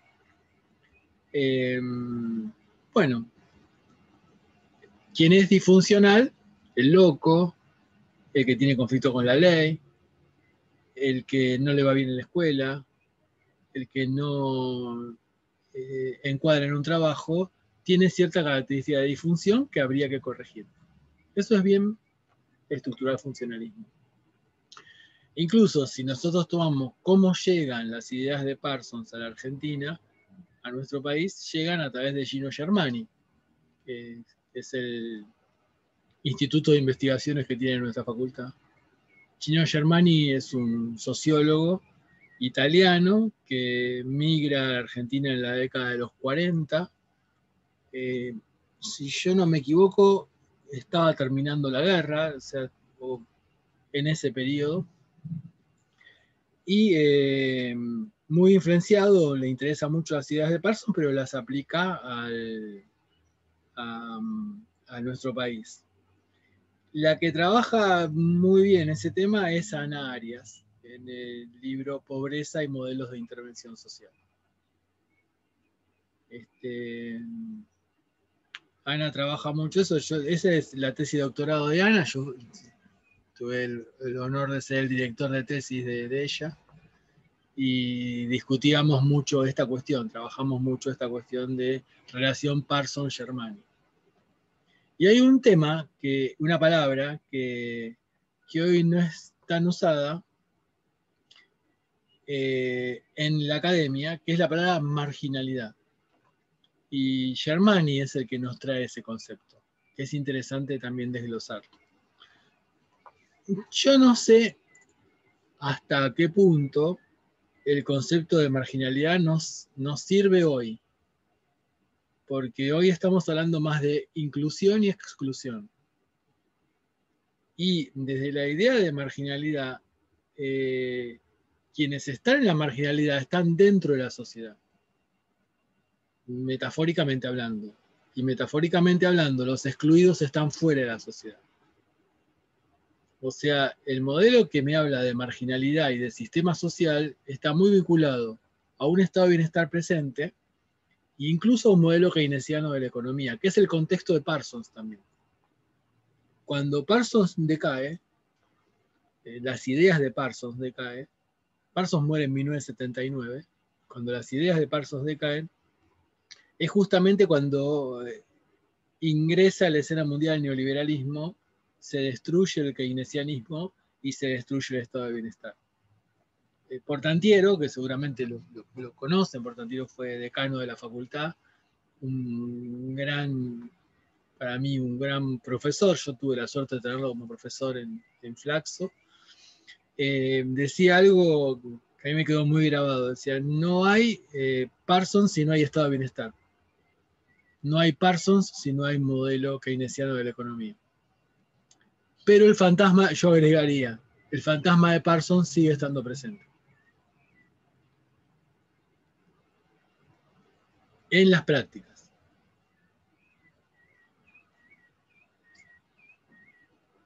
Entonces, este, esto que planteaba Alejandra, vinculado con el estudio del control social o el estudio del disciplinamiento, si lo digo más en clave Foucaultiana, también dialoga con un para qué de Parsons, y el para qué de Parsons tiene que ver con la idea de una forma de, entre comillas, cuidar la sociedad de aquello que la puede disolver. Es muy parecido a los positivistas, también querían cuidar la sociedad de aquello que ellos consideraban que lo podía disolver. Imagínense el temor que tenía la generación del 80, vuelvo un poquito a lo anterior, en 1910, cuando Buenos Aires era una ciudad donde eh, el castellano era el segundo idioma. Se hablaban más lenguas que el castellano. Incluso había más diarios en otros idiomas que en castellano. Había diarios en alemán, diarios en inglés, diarios en italiano, diarios en catalán, eh, incluso creo que también había diarios en yiddish. Entonces, eh, eso habla de una generación que dice, ¿qué hacemos con todo esto? con toda esta población que acaba de llegar, que no era la que esperábamos, que encima viene con ideas anarquistas, tiene ideas socialistas, tiene ideas comunistas. Eh, bueno, aleccionemos, usemos el control social. ¿Qué dispositivo tenemos? Trabajemos con los hijos, la escuela. ¿Qué otro dispositivo tenemos? La criminalización, usemos al hombroso. ¿Qué hacemos con los intermedios? Pensemos en institutos de menores. Bueno, volviendo a Parsons, también hay una idea de disolución de la sociedad. Y esta idea de sistema social, fíjense cómo las palabras perduran, ¿no? Porque uno dice, dice, estoy a favor del sistema, estoy en contra del sistema. ¿De qué sistema? Es el sistema social de Parsons, de eso estamos hablando.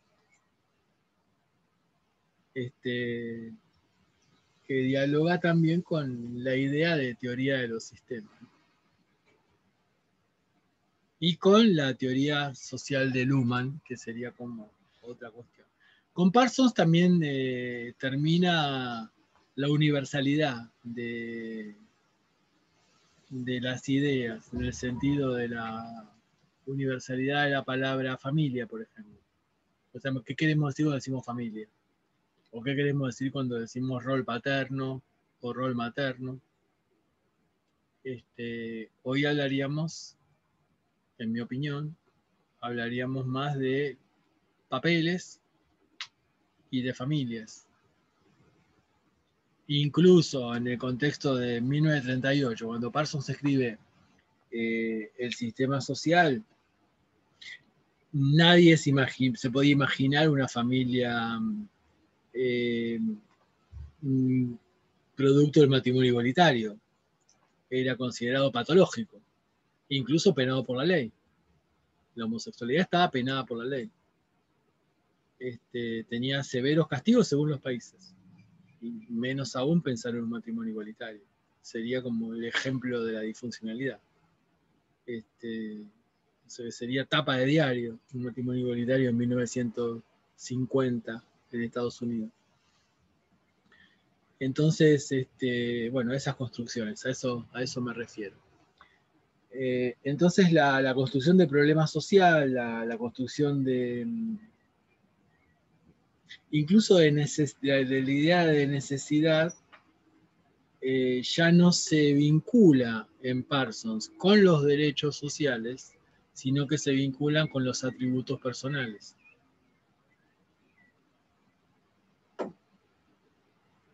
Sea, hay un intermedio, diría yo. Tenemos el positivismo, tenemos un intermedio que tiene que ver con un gran avance de los derechos sociales en todo el mundo, que es un fenómeno de posguerra, y un inicio de un retroceso que tiene que ver con la Guerra Fría a partir de la década de los 60.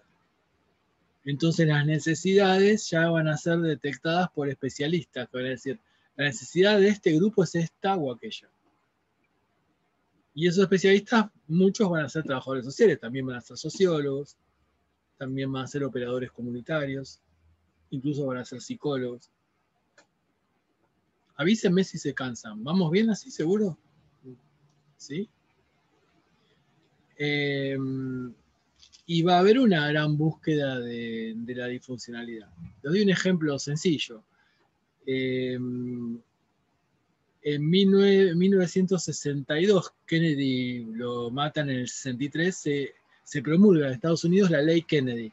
La ley Kennedy era la creación de centros de orientación familiar en los lugares mm, de mayor conflictividad social de los Estados Unidos, que era el sur, porque había una conflictividad social vinculada con, la lucha de los derechos de los afro-norteamericanos y de los hispanos, que eran este, centros, como podríamos decir, como centros de salud, pero eran centros de orientación familiar, manejados por trabajadores sociales fundamentalmente, y en segundo lugar psicólogos, que lo que hacían era reafirmar los valores de la familia estadounidense, los valores puritanos de la familia estadounidense, frente al disvalor de la familia que se había conformado a partir de la cultura afro, que ya tenía su propia eh, construcción, y la cultura de los hispanos, que era mucho más, más histórica que el afro, que se tuvo que construir con retazos de lo que había. Esos centros, este, bueno, se llama, si buscan Ley Kennedy, 1962, se van a encontrar con esos centros y están citados por, por Emiliano Galende, que es un otro autor argentino también muy vinculado con el tema de la salud mental y en mucho diálogo con, con lo social tengo la suerte de conocerlo, Emiliano, y es una persona que es un, psicoanalista muy, muy, muy metido en temas sociales. ¿Estamos claros más o menos por acá? Este, y aparece la idea de bienestar social. Fíjense, los ministerios se llaman de desarrollo social, de bienestar social. Eh, ya estamos en un lenguaje mucho más actual. Las secretarías de promoción social, cuando se crea el Cenareso, hoy Hospital Laura Bonaparte en Argentina, se crea dependiente de la Secretaría de Promoción Social en el año 73 en la Argentina. Es decir, se crea una institución especializada en adicciones con la idea de que la cura se vincula con la promoción social, con hacer que la persona se reinserte socialmente. Por eso se, llama, se llamaba Centro Nacional de Reeducación Social. O sea, el consumo problemático, como lo llamamos hoy, la drogadicción, como se llamaba en ese momento, era una desviación que debía ser reeducada. Creo que es bien, está bastante claro, ¿o no? ¿Lo ven?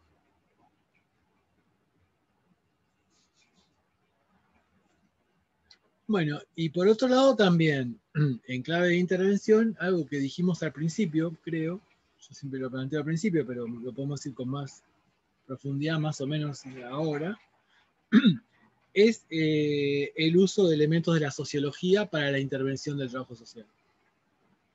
Es decir, ¿cómo sé que hay bienestar social? Voy a empezar a usar variables e indicadores.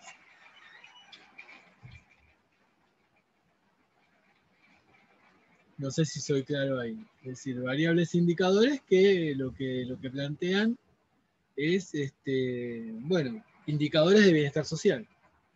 Incluso se siguen usando hoy. Es decir, hoy tenemos indicadores de desarrollo que tienen que ver con la cantidad de conexiones eléctricas que tiene una población, por ejemplo, a nivel mundial. Entonces, bueno, en ese sentido, la idea de indicador social va a atravesar la intervención en los informes sociales. Eso lo hablamos creo cuando hablamos de registro. Entonces, ¿de dónde viene esa idea de indicador social que atraviesa el informe social y se vincula con la idea de bienestar social, promoción social y desarrollo social del pensamiento funcionalista parsoniano y del contexto de la década de los 60, que es un contexto eh, fuertemente diría, fuertemente conflictivos desde el punto de vista político.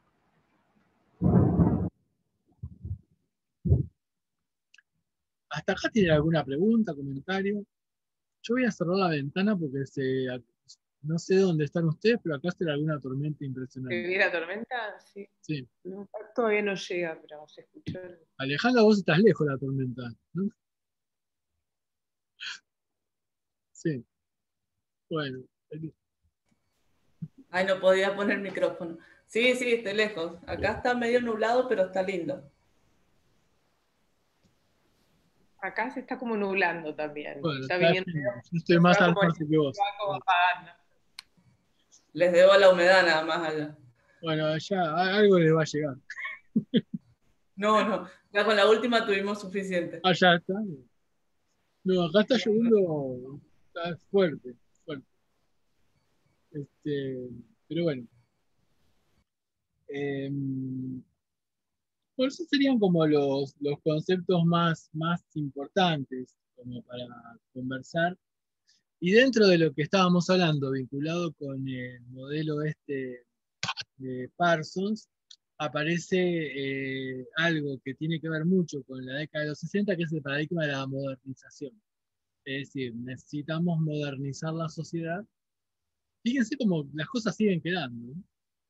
Y a partir de modernizar a la sociedad hay que modernizar a las personas que habitan la sociedad.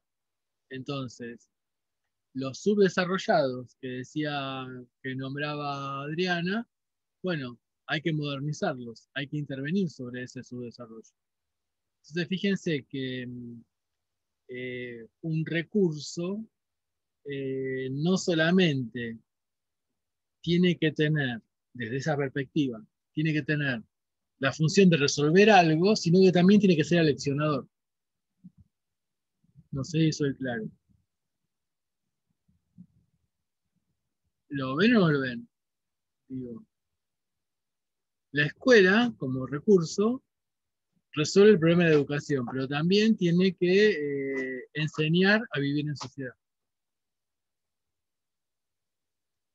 Tiene que enseñar a cumplir con determinadas normas un poco lo que hablábamos antes de los orígenes y ahora mucho mejor y mucho más sistematizado a partir de, digamos, de estructural funcionalismo, el pensamiento de Parsons y en este caso el paradigma de la, de la normalización.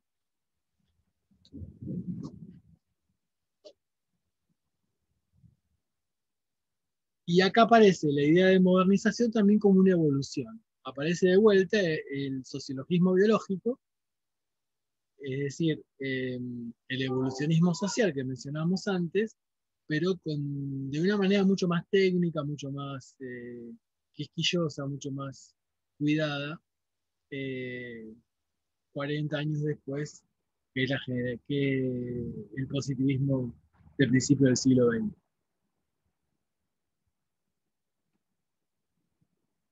Bueno.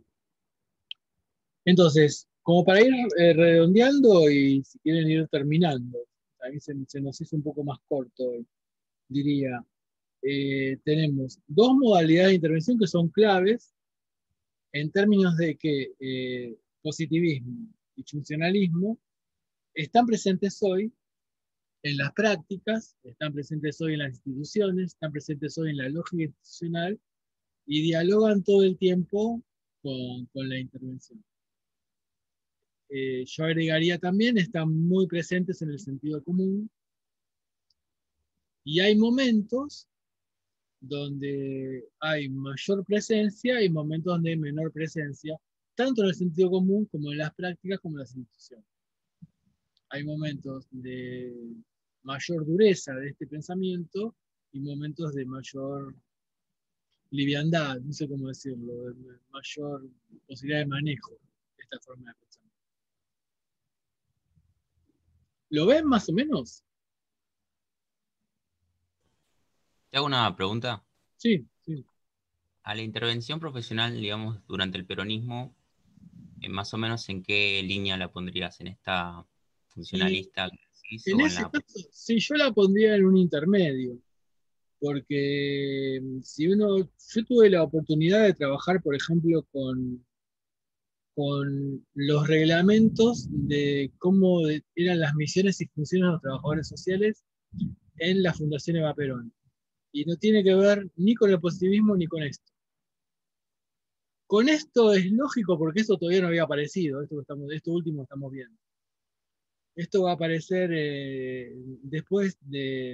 En Argentina esto llega eh, en la década de los 60, o sea, cinco años después de la caída del peronismo. Entonces, yo lo que encuentro ahí es una forma de intervención diferente que tiene que ver con una idea de, de llamémosle, dignidad, que tiene que ver con una idea de restitución de derechos, está muy fuerte en los reglamentos. Hay un textito que yo escribí que se llama Política Social, Subjetividad y Poder, que tiene que ver con la, historia de la fundación. Yo estoy haciendo ahora mi tesis de postdoctorado sobre la fundación, por eso estoy estudiando bastante esos temas.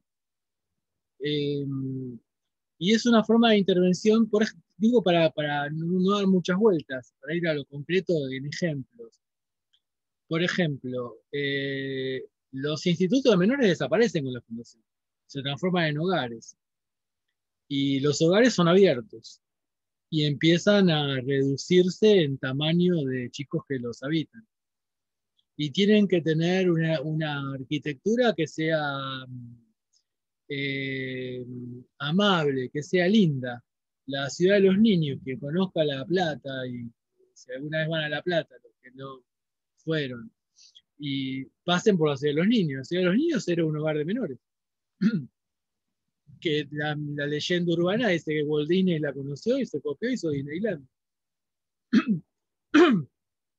Si cuando uno mira la ciudad de los niños, la recorre, se encuentra con una ciudad donde no solamente los chicos vivían, sino que eh, aprendían en su vida cotidiana cómo funcionaba la política, porque tiene, la ciudad de los niños tiene consejo deliberante, tiene Cámara de Diputados, eh, y todo, no sé si, seguro que alguien la debe conocer, todo está hecho en tamaño niño. Los asientos están hechos en tamaño niño. Yo eso recién lo volví a ver se entiende lo que digo, ¿no? Tamaño niño significa que eh, los, los, adultos nos cuesta sentarnos en eso. Yo eso recién lo volví a ver en Venezuela cuando se crean los, los que serían los tribunales vinculados con los derechos del niño. Esa forma arquitectónica. En el 2008, 2006, que estuvimos haciendo la capacitación allá. Eh, siguiendo con la forma de intervención. Eh, no podía haber muros en los, en los hogares. debía, eh, el hogar de menores de la fundación tenía que ser visto de afuera y de adentro verse de afuera. Mm, si quieren ver un ejemplo de hogar de eso y de intervención de eso, de lo arquitectónico, ahora estamos en pandemia, pero el museo que está, eh, el Museo Aperón, que está en la calle Tagle, Ahí eso era un hogar, esa casa donde es el museo era un hogar. Y está hecho una construcción de super lujo. Entonces, eh, hay una idea de, por ejemplo, evitar la internación. Función del trabajador social, ubicar familias para los chicos que están internados. Eh, trabajar con las escuelas, o sea, se, se prohíben las escuelas adentro de los institutos porque todo era pensado en el afuera. Eh, no sé, estoy recordando, pero para contestarte algo en términos de intervención. El hogar de la empleada, olvidémonos de los niños, los hogares de la empleada, que eran hogares que se creaban para las mujeres que llegaban a las grandes ciudades, sobre todo a Buenos Aires, con la idea de conseguir trabajo y no tenían dónde ir. Y el hogar de la empleada tenía que tener, cada piso tenía que tener un estilo mobiliario diferente. Cada piso tenía que tener este, una sala de música, tenía que tener un centro comercial abajo. Es decir, y la función del trabajo social era acompañar la búsqueda del trabajo de esas mujeres, eh, porque era para mujeres. Eh, y obviamente era un lugar absolutamente abierto, se entraba y se salía a la hora que, se entraba y se salía, a la hora que se quería, era una especie de hotel gratuito. Entonces hay una intervención diferente que, no está muy estudiada. No sé si te estoy contestando, no me acuerdo quién preguntó. Yo, yo. Eh, Alexis. O sea que mm, eh, es, un, es como un conjunto de cosas, no es solamente lo, el hacer. Eso está bien claro de los reglamentos. Eh, por ejemplo, el hacer vinculado con la, con la búsqueda de dignidad, es decir, eh, controlar que la comida sea de, la mejor calidad. controlar que la ropa, eh, que tengan por lo menos tres o cuatro juegos de ropa. Y que los chicos elijan la ropa, o sea, sacar los uniformes. Sacar ese famoso corte de pelo que uno que reaparece en la película Crónica de un niño solo, por ejemplo, de Leonardo Fabio. Se les rapaba en la cabeza a los chicos por el tema de los piojos. Eso se prohíbe. O sea que es como una especie de mix de cuestiones bastante interesantes y después mucho trabajo territorial, diríamos hoy, o comunitario, a través de células mínimas que eran enfermeras y trabajadoras sociales que recorrían el territorio y decían, bueno, en este lugar sería conveniente hacer un centro de salud, un hospital, un hogar, lo que fuese. Em, en coordinación también con, el sector salud. Hay mucho para hablar ahí. Tu pregunta da para mucho. digo, si me voy a salud, aparece la figura de la alta social, que esa, esa figura la, la, pone Carrillo, Ramón Carrillo, que era el ministro de Salud, que una persona no, no podía ser dada de alta a un hospital hasta que no se resuelven sus problemáticas sociales. Entonces había que trabajar mucho el afuera. en un contexto que era muy, muy favorable para resolver problemáticas sociales. Y en un contexto también donde las internaciones, por la capacidad de respuesta a la medicina, de cada 40 era mucho, eran mucho más largas y mucho más prolongadas que ahora. Entonces había más tiempo para trabajar la cuestión social, los aspectos sociales que tenían que ver con el proceso de salud y enfermedad de la persona. Incluso, a mí me encanta el tema, los hospitales, este, y eso hoy se ve todavía, lo, uno lo puede ver, los hospitales tenían cine. Los hospitales que crea la fundación tenían cine, porque las, este, internaciones eran tan prolongadas, pero estaban en una situación de convalecencia, donde se podía uno movilizar, que eh, las películas que se estrenaban los jueves, pues siempre se estrenaron los jueves, en el centro de Buenos Aires se estrenaban en los cines de la fundación, en los cines del Estado. Entonces, hoy lo que uno, si vas al Hospital Evita de Lanús o el Hospital eh, Eva Perón de San Martín, uno se encuentra con un anfiteatro y le va a encontrar una forma de cine. Y había, se hacía cine y teatro, no era para congresos, también se usaba para congresos. O sea, eso, eso era, todo eso es intervención. Y es interesante para mí, porque está muy mezclado todo. No solamente un hacer, sino es, un, es eh, cómo construyo un hábito en función de ese hacer. Y cómo eso se vincula también con el, con el deseo, con, la perspectiva que las personas tienen acerca de lo que debería ser, con la cuestión de la dignidad. Da mucho para hablar, no quiero sacarle tiempo, eh, sacarles tiempo con esto, pero te doy un ejemplo. Y digo, bueno, las fuentes, porque de la fundación hay muy poco material, porque fue destruido todo, o sea, se consigue material en otros idiomas, en italiano, hay poco material en castellano, pero yo lo que hice y lo que estoy volviendo a hacer, porque lo que hice en algunos trabajos preliminares fue trabajar con toda la crítica de la fundación. Eh, lo, interesante es trabajar siempre con la otra cara de la moneda, con con el otro lado. Y hay un libro que se llama, que creo que debe estar en PDF, yo tengo el libro, que se llama el, el libro negro de la segunda tiranía, donde todo esto que yo acabo de describir de la Fundación de Perón es criticado. Y está diciendo que eso es un gasto excesivo. ¿Cómo le van a dar tanta ropa a los chicos de los hogares? ¿Cómo van a, tener tanta diversidad en la comida? Porque si no eh, tienen poca ropa, nunca van a aprender a ser ciudadanos, van a ser formados con que todo les viene de arriba. Eso lo dice textualmente la comisión investigadora de la Fundación Eva Perón. Entonces, hay mucho como para charlar ahí. O sea, sería para otro encuentro. Y es un speech bastante usado también para los planes sociales, ¿no? Bueno, fíjate cómo las cosas van y vienen, ¿no? Pero digo, si quieren como para terminar, hay una anécdota que, que cuenta, contaba un, un gran escritor que llamaba Castiñera de Dios, que cuando se empiezan a hacer, o sea, en la época de la fundación de la Perón había como problemas de habitacionales como los hay ahora, que ahora son mucho más complicados, difíciles este, y terribles.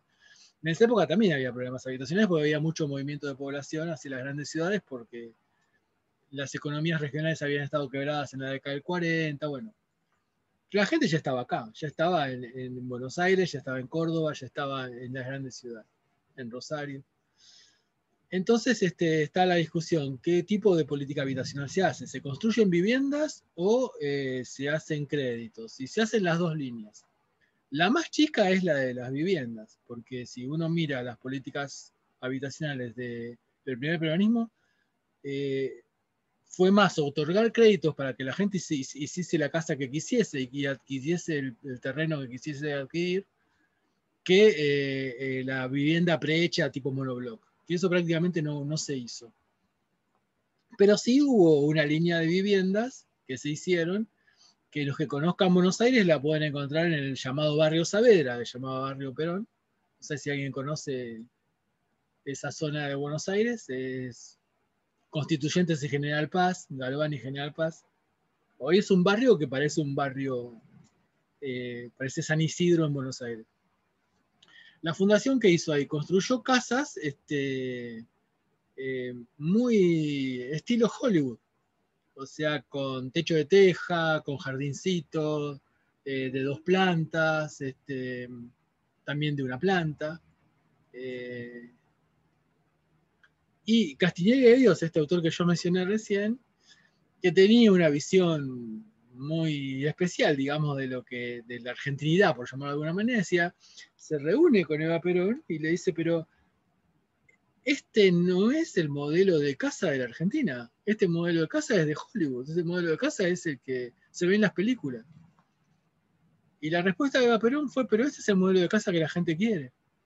Es el modelo de casa que la gente desea. ¿Por qué no vamos a hacer ese modelo de casa que la gente desea y vamos a imponerle el modelo de casa que nosotros pensamos que es el argentino? Y como tenía mucho carácter, se hizo el modelo de casa que ella quería. Y esos barrios son para recorrerlos. Son para recorrerlos. Hoy son carísimos, además. Comprar una casa ahí es este, hablar de muchísima plata. Pero eran barrios obreros. Este, pero bueno, no sé, eh, les estoy armando un tour por la ciudad de Buenos Aires, así que hoy no porque llueve. Bueno, disculpen si fue muy teórico lo de hoy. Este, la idea era trabajar con, lo conceptual, con lo más este, vinculado con, la teoría sociológica y con la filosofía. Espero que lo hayamos completado y bueno, nada, si no tienen ninguna pregunta, duda, inquietud, cortamos. ¿Estamos bien? Adriana, ¿todo bien? Sí, todo bien. Bueno, Vanina, vos seguís estando, seguís estando así que. Este, Cuando tengamos los materiales de esta clase los subimos y la grabación también. Sí, hoy tuvo un problema de salud Maya, que es nuestra experta en grabaciones, y estoy grabando yo, así que no sé cómo va a quedar. Así que esta clase, este, bueno, esperemos que, salga. Bueno. Sí, vamos, vamos, vamos. Después la, ahí al Classroom también y Alexis nos compartió el eh, informe. El informe, así que también lo vamos a subir, si él lo pasó por el WhatsApp, lo vamos a subir también al Classroom.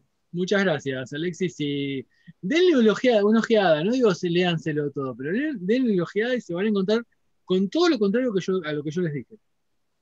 Este, de lo que decía Ramos Mejía, lo que decía Ingenieros. Es muy interesante. O sea, hacer dialogar los opuestos es lo mejor. Pero bueno, buen fin de semana, nos vemos el sábado. Pasen la vida. Adiós. Chao, buen fin de semana. Chao, chao.